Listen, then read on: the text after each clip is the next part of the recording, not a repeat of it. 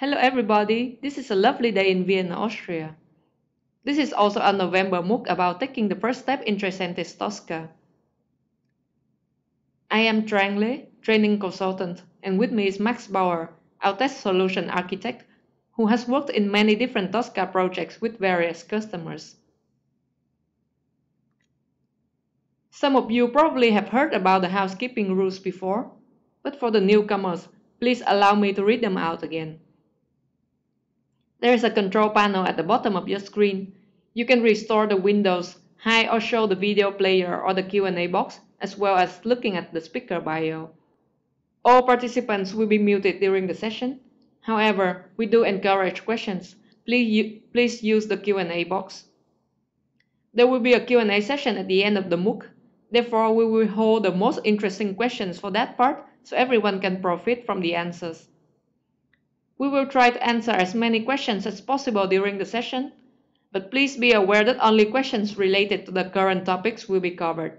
For everything else, please contact our customer support.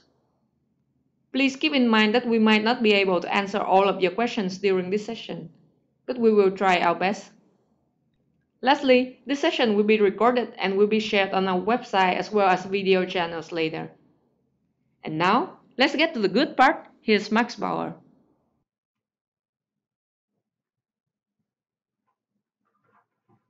Hi guys, warm welcome from me. I'm Max from Tricentis, and today I'm showing you the first steps in Tricentis Tosca. Um, um, usually, you know, we're talking about concepts, then we go into demonstration, and later on we do the discussion.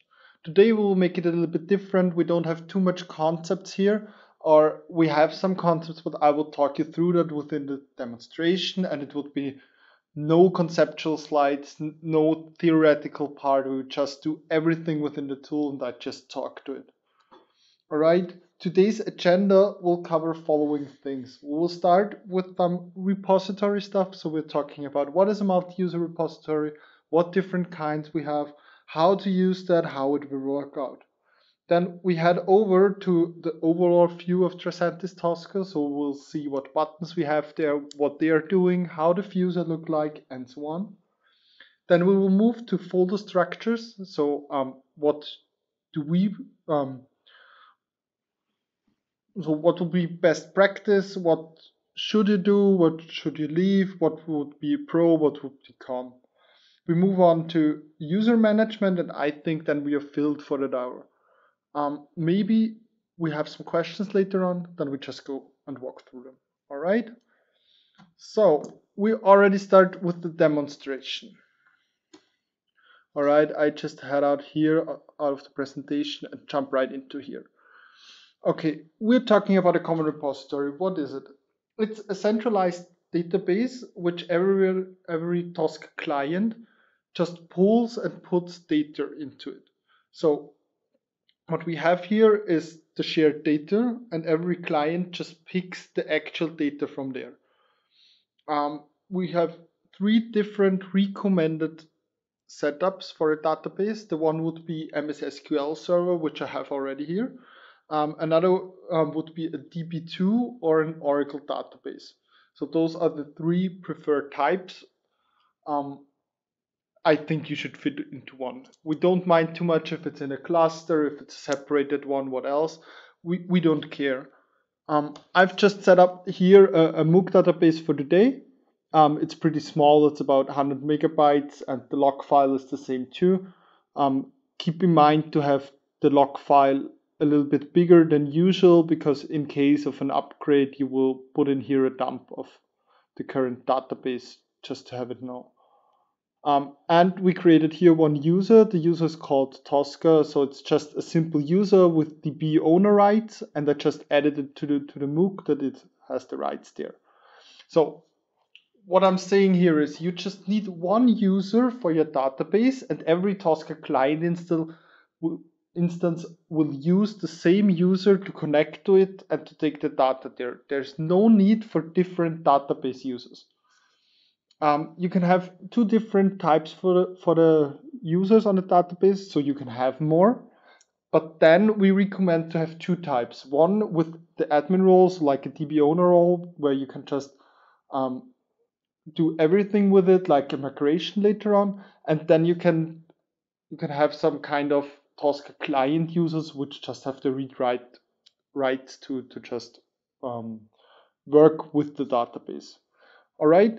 So having this in mind, we just go back to the Tosca commander, and here I already um, um, put up the window with creating a new workspace. So this is what you would initially do once you have the installation of Tricentis Tosca, right? So here you can select single user workspace. This is usually during the trainings or once you haven't set up completely, then you're going for the single user workspace. Um, you can start every time with a single user workspace, but I recommend in projects to go for the multi-user as fast as possible. The reason behind it is if you just create a single user workspace and then later on move your subsets um, into the multi-user repository, then you may create doubled modules, doubled test cases, and so on. There is the possibility to migrate those, but I would recommend to just start with one of each and not by migrating all of those together because it's kind of a little bit work to do and we don't want to do that in the beginning. So it's, it's easier to just start with a multi-user repository. Therefore, I select here my MSSQL database. And now I have here the scheme and the connection string.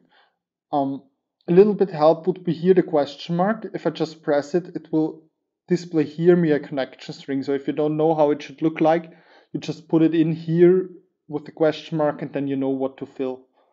Um, I've already prepared here mine. So um, just to let you know, the server, this is my computer, so it's a local database, and SQL Express is just because it's it's the free version of SQL. The database is called MOOC and this is the UID and password for, for the user you've seen before. All right. There is also the possibility to have Active Directory user. Therefore, you just add here trusted underline connection equals yes. So that would be the string if you have um, if you have an Active Directory user, all right? I don't have that here, I just wanted to mention it. Okay, for, for the branch, you don't have to, to, to mind too much. Maybe you have um, the branch and merge setup, then you already know which one you select. For me, it's just master because I don't have more of them. I just try here that the connection is valid. That's good. Then I have to select a name here. For me, it would be just MOOC because that's what we're doing today. And you see that one here is grayed out. It's like you can use a template. So whenever you are creating the first time a workspace on a database, so you see here it's pretty new, then you have the option here to use an existing repository. This is if you connect to an already existing repository, please have the check there. Otherwise, you would just remove what's on the database, okay? So I will uncheck that because I want to create a new one. And as a workspace template, I just put in the check and I import the standard TC, which is about the um, the standard modules which we provide you, and they are pretty helpful. And we have created them for you to to enable you with some stuff, which would be pretty high effort to create on your own.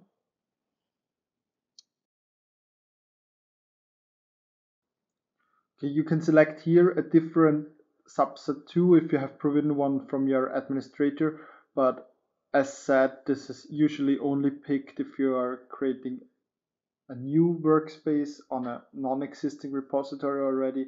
In the case your administrator has already set everything up, you won't have here any templates and you don't have to check in here. Okay, so let's go into it. You're now seeing it's creating the repository. It succeeded. It's creating all of the tables in there and it's importing the subset and now it's done. It will be closed automatically in a few seconds or you just close it there.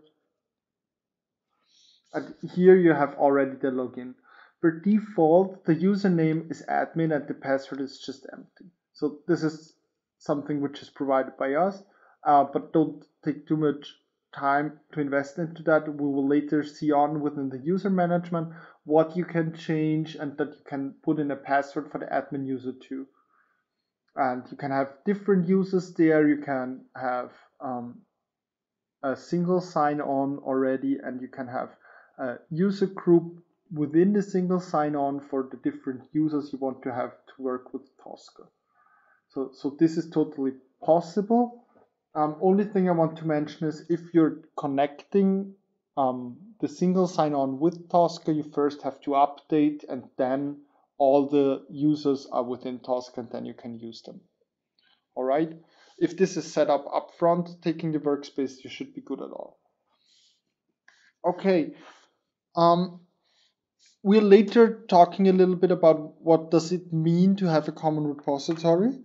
Um, but for the moment, we will start over with the view you have in here.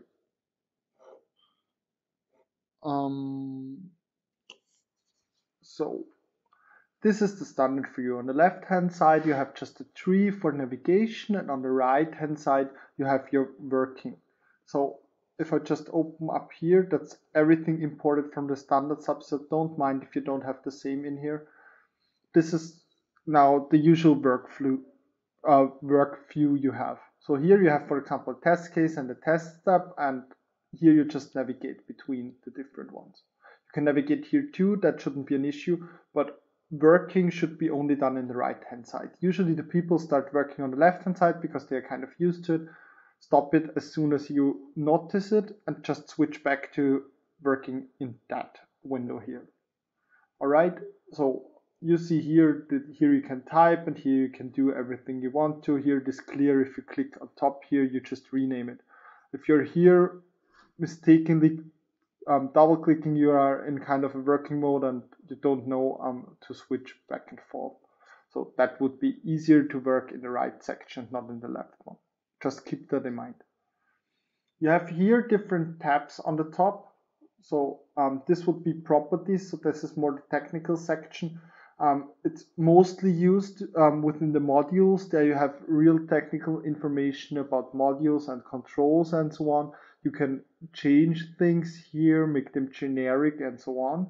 For the test cases section, it's not so important. Um, I will just close that down again.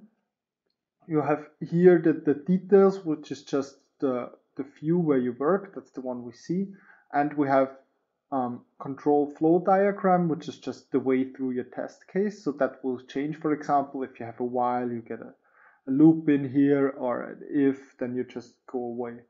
All right. And on some points, you also have test configuration. Test configuration is an hierarchical thing, so you just create them on one top and they, they are getting inherited below there.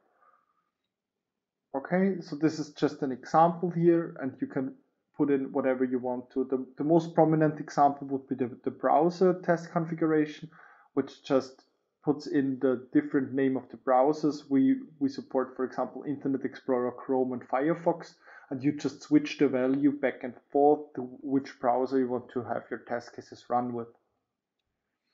Okay. Um, it is possible if I just pick here another tab, the, the modules, for example, you see on the bottom line there are the different folders, the different um, the different sections from Tosca. You can just pick one folder, move it up there, then you see, all right, it gets a own window. And with the own window, you can move it wherever you want to. And you get this little cross here in the middle. The cross is pretty helpful if you have bigger monitors and if you're working. So for example, um, if you are creating test cases, I would recommend to have the modules on the right hand side and the test cases on the left hand side. The reason for that is if I mean, you can also do it on, on the top, the, the test cases, and on the bottom, the modules. This really depends on how you like to work. So this would be on the right hand side, or you just give it on, on the bottom. Um, the, the reason why I want to go for this workflow and why I think it's easier to work with it, it's just if you're creating test cases, you just pick up here the modules, then you move it to the test case, release it there, and and this is the way easier way to work so from right to left hand side but i'm kind of used to it um, it would be also to have the test case design here on the right hand side because those are the things if you're working with templates you want to connect for example the test data to your test case and you can here easily drag from right to the left so it's kind of The same thing as with the modules you can do with test case design. I would also have, for example, the executions on the right hand side because then you link the test cases to the execution list. Um, for requirements, that don't mind too much because they are usually set up just once. Um, as you have seen, maybe the, those tabs are changing on every item you are. So um, the, the whole GUI is responsive and changes to the to the different items you select in here. So it, for example, if I go here on the, on the test tab, you see the test configuration is missing. And here it is because it doesn't make sense to have a test configuration down there. Okay, next thing I want to show you is here the top menu bar. I think the first here is pretty much like in every other application. It's kind of Windows-like. So you have here the save, the go back, and you can go back um, in the navigation too. And here the ribbon also changes depending on where you are. So for example, now I've selected the test cases. So here is the test cases tab. If I move here to test case design, it's moving here to the test case design tab. So this one really changes whatever you select there. Um, basic functionality would be here for the project. You can see um, that you have here different informations. For example, here on the on the info tab, you see um, you see the the overall things about your workspace, about your database. Um, you can go into the options and the settings. You see information about Tosca, accounts, license, and you can close down the workspace. It's not necessary to close it down there. You can go for the X on the right top too. Okay, next would be the Home tab. Um, what would be most important is here the, the project root. If you just select it, you see this is your complete project. And here you, you have all your folders. So, so this this would be here, the root would be the, the base of your database and everything is linked to that. So that's why I was saying um, the test configurations are hier hierarchical. For example, you would create here the test configuration on top and every other folder down there and every object gets just the test configuration there. You can leave it empty and just fill it wherever you need it. I link back to the to the browser example. Okay, if you're wondering now why do we have those green bars here on the left, okay, you just see them within the navigation tree on the left hand side. There are different colors in here. For example, it could be the green one, which means I have checked it out. I have checked it out here at the moment because I just created it. So I created that and no one else can see it because everyone which would connect now to the database, so if you're a different user, you won't see anything and for you it would look like like the database is empty because we haven't checked in. So these are the um, these are the things which you have to keep in mind for multi-user repositories. You have here the green light which means it's checked out for you you have a red light, which means it's checked out from someone else. And you have here in the middle the, the buttons where you where you can work with the multi-user repository. So I will first explain the buttons, then I will go back to the different coloring and what does it mean. Okay. Um, update all should be performed on every start of the workspace. It's just like getting the new information from the common repository and have it on your local version. So it's not a complete dump of the database. Don't mind about your um, about the size of it. It's just that you get the newer information and for example the one which your colleague checked in yesterday in the evening.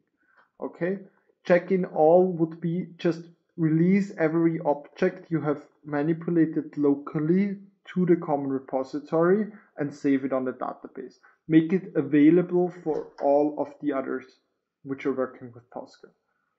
Okay, I will just do that right for the moment. I will put in the check-in all. It will take a few moments because it's pretty new. You see down below here what, what um, Tosca is doing. It just takes a while because it's pretty much of data and it's a newly created workspace. So all the tables, all the files, all the, um, all the objects have to be put into the database. You see now it's a little bit grayish here. You don't have the green bar on the left hand side. So this would be the initial state if you just go to something. I will now pick the test cases and I pick here the standard modules example. Then I would check out the tree. If, I, if you see here on the right click, you will see you have the checkout tree there. I will explain that menu here in a minute. Okay, I just go to that folder, then I go for the checkout tree as you can see now here in the navigation, it's green already. So um, this now is kind of locked for me only. Why do I have here two different types, the checkout and the checkout tree? Tree means the object I selected and every object below, as long as it's not checked out by someone else. And the checkout is just about this object. For the check-in, you only have to check in all because it doesn't make sense to have just um, a subset of things checked in. All right. So here you see I have now checked out the standard modules example and every folder below there. Okay. That means if I'm working with a colleague and I check out a tree, everything below there is locked for this guy. He will see here, instead of the green, a red one. And if you hover up with the mouse, you see uh, you see who has checked that out. And you can also select here, right click and then see checkout details. And then you see which user has checked it out and on which machine. Okay. So, so that would be later on if you have something which you need and you can't access it, you can ask the guys there. So if it's red here, you see just the last standing from the from the database before the checkout happened. So it's not the latest version of it. And you can only read it. You can't write on it. So um, let's pick the modules as example. If they are checked out, you can drag and drop the modules into your test case and you can have test cases run so you can work with the modules, but you can't change, for example, properties within the modules. That's not possible. Okay, so that would be the difference here. The, the one is just the read rights and the other one is read and write rights. Okay, so we have here the green one, which means it's mine. We have the red one, which means it's someone else's and it's locked for me. And then we have the gray one, which means it's not within the synchronization. So what you can do is you can um, put things out of the synchronization. So it's here the exclude tree from synchronization. And for the moment, you don't see here any difference. And because you have already loaded the data in there, but it's kind of grayish and the bar here would be would be empty if you are a different user and it's for and it's excluded from the tree and you really can't access it. Then you can you, you see it here gray, there are no objects below it, and then you can just right click it and say um, include all necessary items. Then they will be picked from, from the database and then they will be reloaded in here. So this makes sense, for example, in big projects or if you just have uh, um, different applications and the, the one guy from application A don't want to see something from application B and the repository is pretty big and it's maybe getting slow to some point then you can just exclude that part and then you don't need to load that. So it's maybe saving you some time while creating stuff. Okay, so that would be the things about the multi-user repository for the moment. Um, and we should continue now with the navigation here. So if I go to a test step again, and I will just move the bar here to the right, then you see you have here within the working window different columns too. So you have the name, the value, the action mode, data type, and work state. Um, on different levels, you have different columns here. and there are way more columns. So for example, you can go for the column chooser and then you see here there, there are way more. So for example, for the test cases, you will need the, the condition column, for example. Then you can just drag and drop them here from the column chooser here into the bar, or you just double click them and then they are arranged at the, at the end. Okay, you can remove them by just dragging them out um, of the top bar and then they will kind of disappear you can move them to, to, to in size to whatever size you want to, or you double click them and then they have a fit for the size as they want to. Um, there's also the possibility to define columns on your own. So maybe for, for something later you want to have here um, a Jira state, for example, then you can create one on the root for an object and then you have in here the column and then you enter the data you want to manually.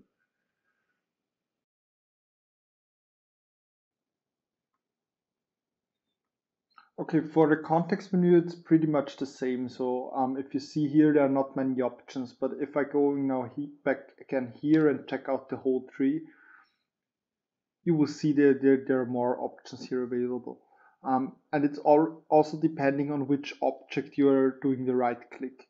Then you have here the, the mini toolbar on top, which is usually the, the creating stuff, the searching stuff, deletion, and some of the administrative functions, I would say.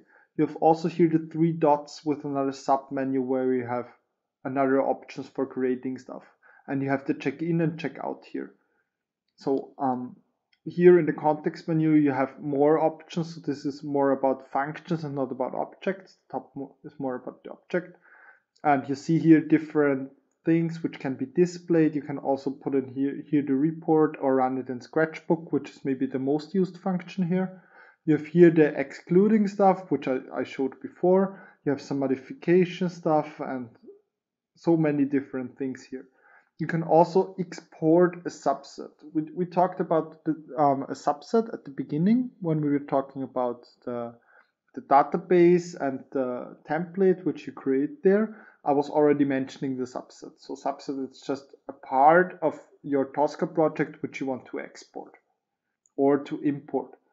Here you can just export the subset. So that would be just, I will take here that object I selected plus the tree below there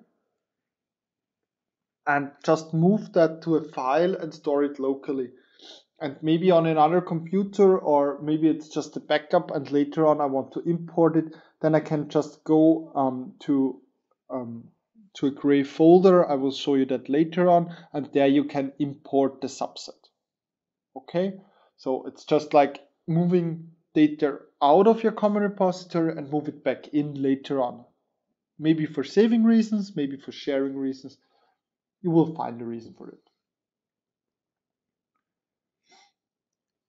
Okay, then let's move to folder structure. If, if we are just talking about it right at the moment, I will just check out here the root and I will show you um, show you a little bit the different sections and folders from Tosca, and then I will show you a little bit of best practice on how we recommend to set it up to some point or how I experienced that it would make sense for most of the customers. So here we have the configurations folder, which is just about technical configurations, for example, test data service flood or different endpoints. Um, I think for the moment that's too much. But we have the executions where you have the um, execution lists in there. You, we have the issues section. This is um, if you find errors, you can put it in there and you can link them for Jira, for example. You have here the modules. You have in the reporting. So we provide you with some standard reporting and there is an extended reporting too. So you can you can um, import it here and then you have the, the reporting um, on every object you want to report from. We have the requirement section, test case design, and test cases. So requirements would be just um, what function of my product do I prioritize and where do I want to test. Test case design would be about the data within the test case and the template. And test cases would be templates and test cases and so on. So everything you want to run later on. and test planning would be organizational and administrative. Just the walkthrough. There's another folder which you can see right here at the moment. It would be here the component folder. I also recommend to to um, work with the shortcuts. You see this always in, in the in the in the menu down there. You see, for example, here for create component folder, it's control uh, control N, control C to just create that one. So I just click it here and you see now there's a component folder. Um, I will in future try to use some of the shortcuts. If, if I'm not sure, I will go to the context menu and then I will show you where you have to click for. But for example, if you're going to a straightforward structure here, we'll just name that one here project because that's what you usually have. And you see already here the sorting is done. So folders are kind of sorted in a way like you define them. So you can put in here a number, for example, and then you can have them structured already here. Um, to some points, Tosca just um, is doing an alphabetical sorting, but on the other points, it, uh, it would just leave you free as it are, as, as it is. Sorry for that. So we are creating here two component folders. The one would be projects, the the other one would be playground. You can name them name them um, from numbering wise as you wish. I just put in here playground and in front of it I will put in 01 just to have those two folders together. Um, you can rename the other folders down here too and create your own structure. Um, usually I put the playground a little bit more in the back and the other folders more on top and I will exclude some of those folders in bigger project and I will explain some of those stuff right now to you. But in the end, you have to work with the structure and you will have to um, will have to find your way working with Tosca. Okay, so on the playground, I think that's the easiest one. Here you just put in, you would put in um, a folder for every user. So for me, it would be Max, and then I would just put in here my test cases, my test case design, for example, and maybe my execution lists, whatever, I don't know. It's just like a playground. Here you can try out whatever you want to, just give it a try here, and then you can move it to, to the project if it's working. So um, a good example, in my case, I was struggling with the task hill, um, where I don't know what variables I have to pick. So I usually create here a test case in it, just try out the task hill in there, and then if it works, I just move it to the projects folder. Okay, for the project folder, you would have here the separated dedicated projects. So this is where your test cases are, which will be run later on. And structuring wise, it makes totally sense to have here, for example, for every application, different one. So you can have your SAP in here, you can have your web in here. Maybe you have another SAP, but it's HR, and you can have here in your Salesforce or whatever application comes into your mind, you would have here a different project. It could be project wise, it could be department wise. It's just like you want to structure it there. But here you can have a pretty awesome separation. It would be also possible to say, okay, SAP, we can put in here HR, and there would be another folder with SAP with this kind of, for example, SAP HANA. So that would be the different options. And you, as you have seen now, you can just drag and drop those stuff into each other. That would be the easiest way to work with Tosca, just by drag and dropping stuff. Um, if you have it here, I always recommend to have following folders in there. You should always have the test case design folder in there. You should always have test cases folder there and the execution list folder. So these would be at least the folders you should have there. So test case design about the data, the test cases where you have the, the kind of module-based scripts there, and the execution lists where you have just a list of the different test cases. The execution lists should later be linked to the main execution list folder. So as you see, what I want to create here is a different view for different people. And for that one, I just create execution list, for example, in your project. because in your project you may have different execution lists. You have one for just a subset of different test cases, maybe just one for one part, or you have some regression or smoke tests or whatever. But in the end, you will have a global execution. So you will have here an execution list, for example, and within the execution list, um, you um, could have, for example, your whole regression about all your products. So you, you will link here an execution list from SAP HANA to the regression, which covers all of the regression SAP HANA test cases. You would do the same for SAP HR, for web, for Salesforce, and so on. That they are here connected, but you just maintain them here in SAP HANA, but they're picked in the regression set too. Reason for this is the requirement section. Because um, in the requirement section, you also create with the requirement set just a few about uh, about a different project or um, a different department. So it's always always depending on the person who sees the requirement set what he wants to see. So you can create a requirement set just on your application. For example, that would be here in the SAP HANA projects folder. Here you would just create a requirement about it.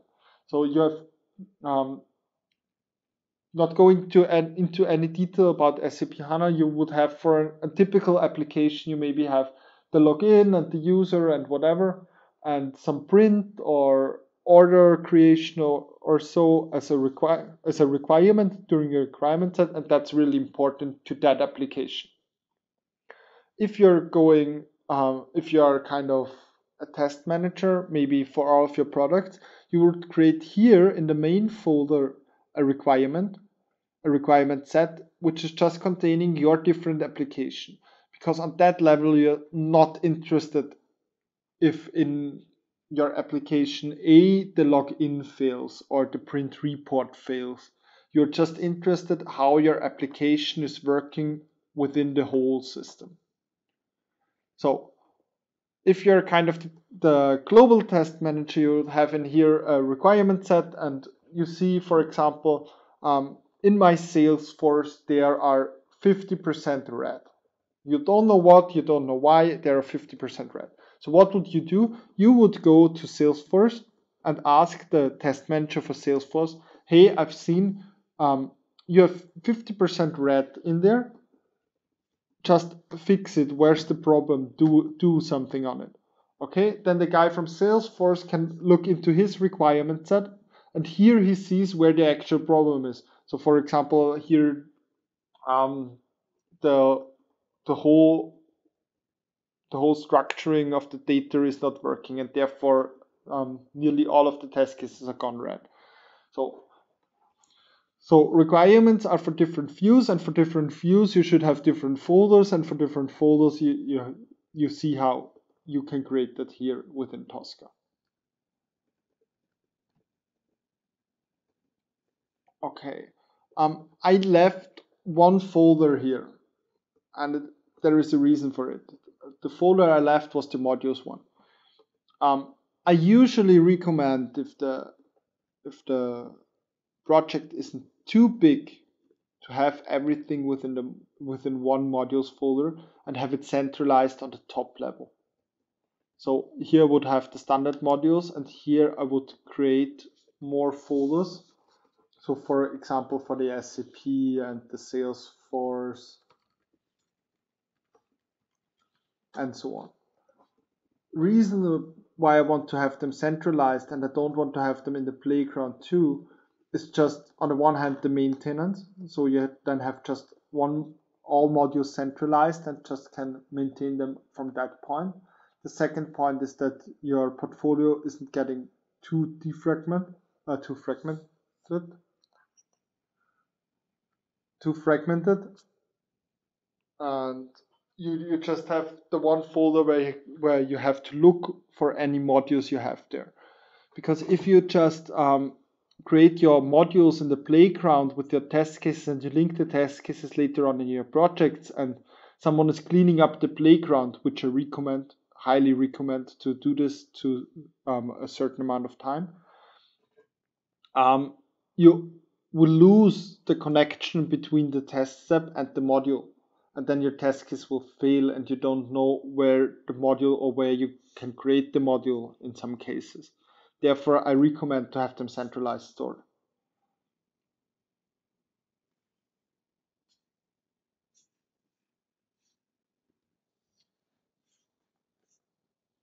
So the modules are uh, centralized and the other folders, for example, requirements you can have for, for every level you want to have them. Then you have here the issues. I will leave this, this folder centralized too. Um, but for those two here, I'm not so sure if you want to see them here all the time. Maybe it makes sense to have some test cases which are overall for the whole Tosca project maybe you have some test case design, but usually you don't have to. You have those folders within your project or you have them within your playground or you have different folders where you store them. So you have them still here. You maybe put them to a number, but you maybe don't want to have everyone seen that. So this is the linkage to um, to user management and user management in Tosca works following. You have here the owning and the viewing group on every folder. So now it's kind of everyone, um, all users inherited, so coming from the root here, owns an object, and for the viewing group, no group is assigned, so every group kind of owns the viewing stuff.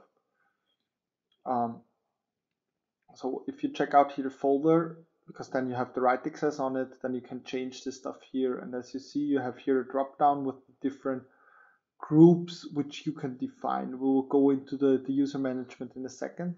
And for example, you can put in here the viewing group, you can say only admin. And then a user which logs in doesn't see the folder here at all. So that would be the easiest way, for example, if the guys here from SAP HANA shouldn't see the SAP HR stuff because it's kind of data sensitive, then you just go to the SAP HR stuff, select here the SAP group. We will see that in a minute, and then it will be masks for everyone. Um, to work with the user management, you go here on the root, and then you have here the fourth tab, which is the user management.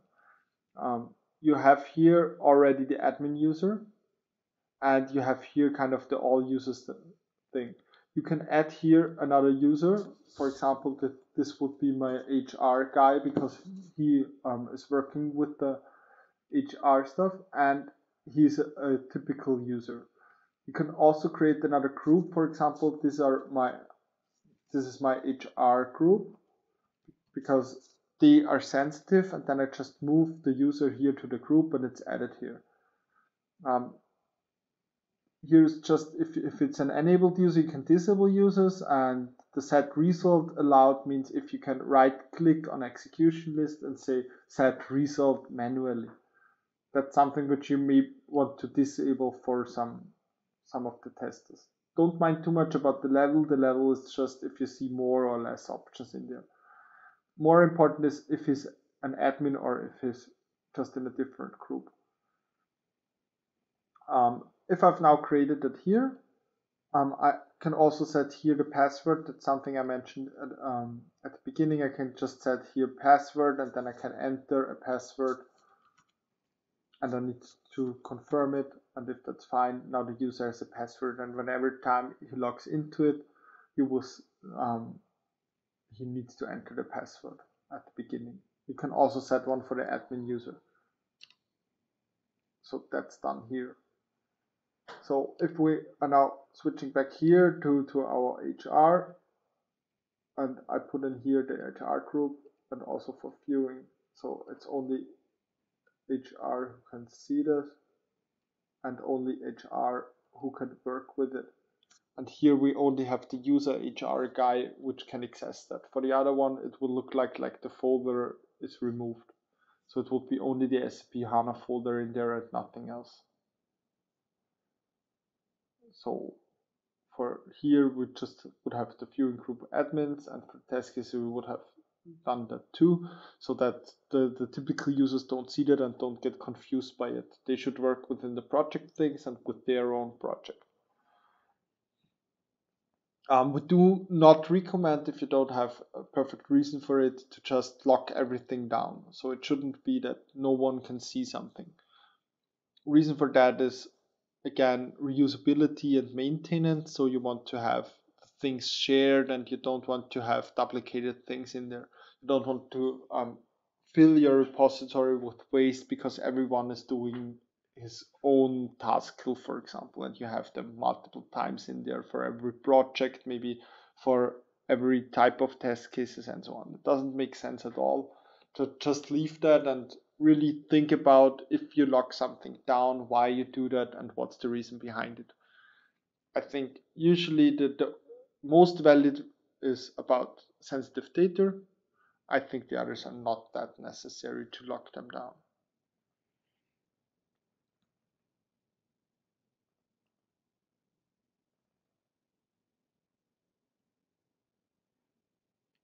All right, guys, I think that's it for the moment. That's it for the MOOC. I consumed already my time slot.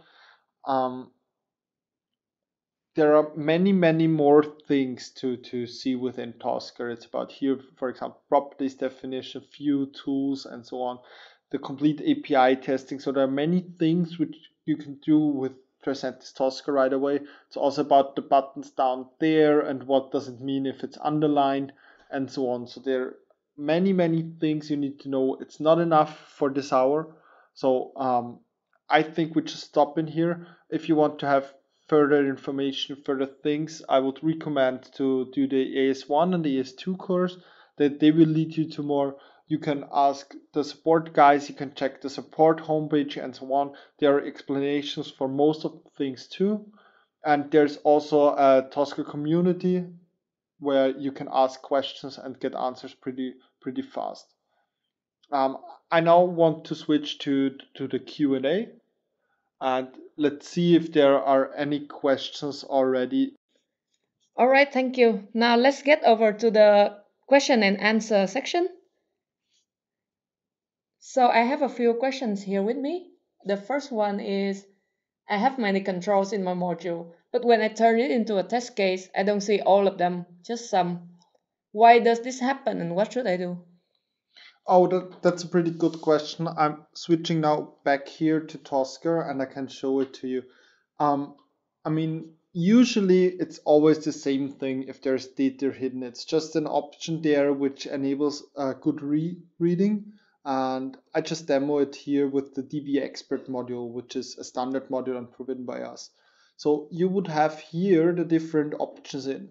So, so that would be all the options you can you can you can put into all the controls you have in here. And if I'm now going here to, to my folder where I have just an empty test case, I can just bring in the module in there. And if you um, if I open that up, you see here, here are the different options. So that's what I see here on the right hand side. But if you're going here to view and you have enabled here the hide do nothing, it will just shows you everything which is filled. So now it looks in the test case section like there is only one thing filled. And if you disable it, you can see whatever you can fill in there. So I think that's usually the problem in here, and I hope the question is answered like that. Um, the second question is is it possible to have more structure in the user management? For example, a user group inside a user group?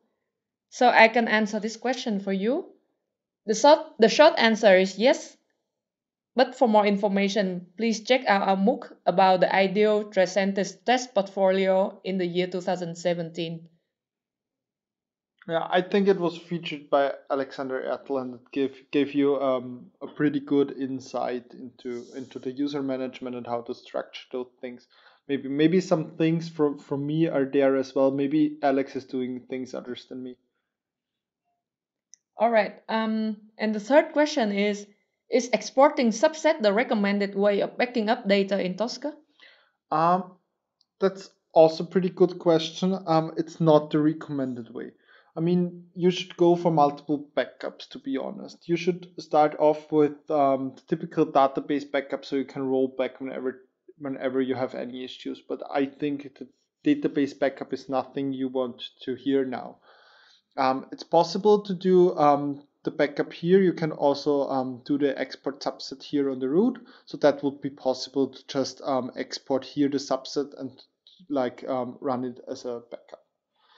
Um, you can also trigger the function out of Tosca here. So if you're going to, to the to here on the top to project um, and in the info section, you have here the option to, to back up your currently used common repository.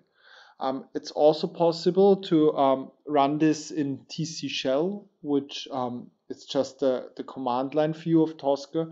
And then you can have like an automated script running in the night and doing the backup for you and just store it somewhere. And I think that would be the recommended way to do that. So you have automatic backups during the night, and it's the, the version where you have no maintenance with. Well, thank you very much for your time and your knowledge. That was very helpful. And I hope you guys enjoy that. Thank you very much for joining us. Before we end this session, I would like to remind you guys of our upcoming MOOC, which will be about mobile testing. The session will be on November 28th of 2018. As always, we will have two sessions to cover different time zones. Also, please complete the feedback at the end of this session. Last but not least, if you have any further question or inquiry not covered in this MOOC, please contact our support or training department, as well as check out the knowledge base at support.tricentis.com. We can also be reached on social media platforms such as Facebook, Twitter, or LinkedIn. Thank you for tuning in and we hope to see you next time.